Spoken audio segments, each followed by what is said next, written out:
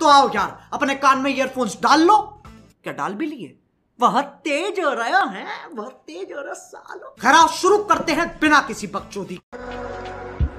माफ़ी मागून एखाद्या वेळेस छोटे व्हा, पण खोटं बोलून कधी मोठे होऊ नका. कारण की मला माझ्या आईची शिकवण आहे चूक स्वीकारल्याने किंवा माघार घेतल्याने कधी कोण छोटं होत नसतं. ह्यात पण एक मोठेपणाच असतो. ते कसं आहे ना, शेठ? आज मार्केट जरी तुमचं असलं ना तरी एक गोष्ट कायम लक्षात ठेवा. चाहते आमचे पण कमी नाही आहेत मग शेठ काय भेटलं मोठेपणा दाखवून? घंटा? अहो काय नाही भेटत हो मोठेपणा दाखवून. माणुसकी लागते माणसं कमवायला. लक्षात असू दे. पाडून टाकीन तो प्रत्येक मजला. जो माझ्याहून बोलायला शिका. नाहीतर आयुष्यभर. ते कसं आहे ना शेठ? एकदा नजरेत ना खाली उतरला ना मग घंटा पण फरक नाही पडत. जिवंत आहे का मी आलाय आपण कसा असावा हा निर्णय आपलाय. लोकांनी ठरवायला काय ग्रामपंचायतचा मुद्दा आहे का? आज दिवस जरी तुमचे असले ना नंतर आमचे येणार. फरक फक्त एवढाच राहणार की तुम्ही माजणार आणि आम्ही थाटात गाजणार. आमच्यासोबत संबंध खराब होऊ देऊ नका. कारण की आम्ही तिथंच कामाला येतो जिथं सगळेजण तुमचे साथ सोडून जातात. खिशातला पैसा संपला ना की लोकमानानेच लांब जातात. आणि आयुष्यात हे सात रंग असले ना तर रंग बदलणारी पण जवळ येतात. कोणाची काय लायकी आहे ना ते मी पण सांगू शकतो. पण गप बसलो आहे कारण की मला इज्जत द्यायला जमते. इज्जत काढायला नाही.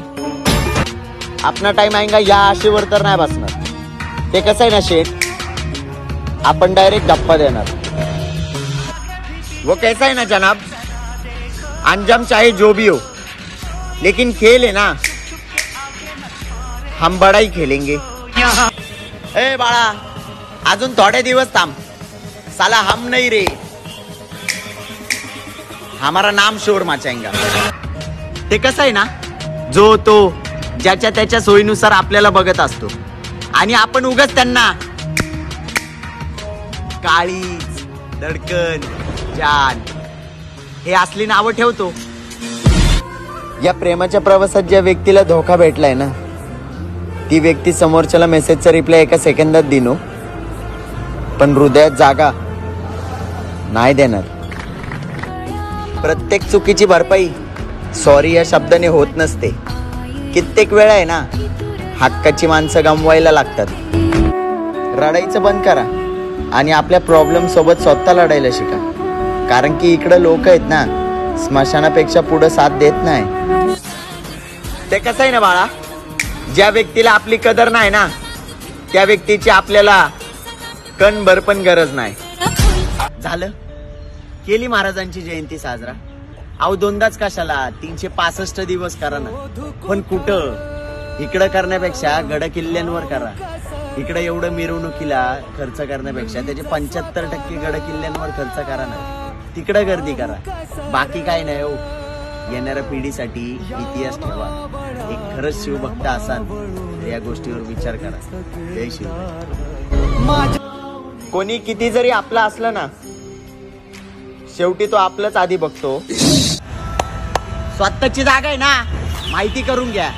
कुठं उभं राहायचं कधी उभं राहायचं आणि कोणासाठी उभं राहायचं. हालचाली शांतपणे करा. म्हणजे कसं आहे ना यशाचा आवाज थाटात येईल. लोक बदलतात. बदलून जाऊन द्या ना. सगळे मागे येतील. फक्त वेळ बदलू द्या. माणसाने ऐकताना आहे ना कान कधी पण स्वतःचे वापरले पाहिजे. म्हणजे कसं आहे ना गैरसमज वाढत नाही. समाधान असन तर पैसा सुख देतो. नाहीतर मग तुम्ही किती कमवा तरी ते कमीच पडतं. लोकांचं काय घेऊन बसलेत?